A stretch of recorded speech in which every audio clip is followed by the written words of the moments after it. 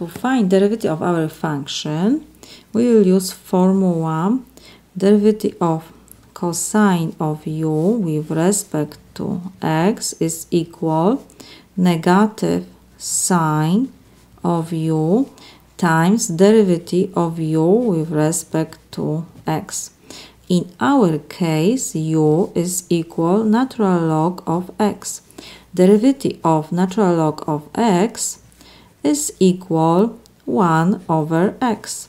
So now we have to just substitute derivative of u with respect to x is equal we have negative sine of natural log of x times derivative of natural log of x is 1 over x. So we can rewrite this. Negative times positive is negative. In numerator we'll have sine of natural log of x over x. This is my solution.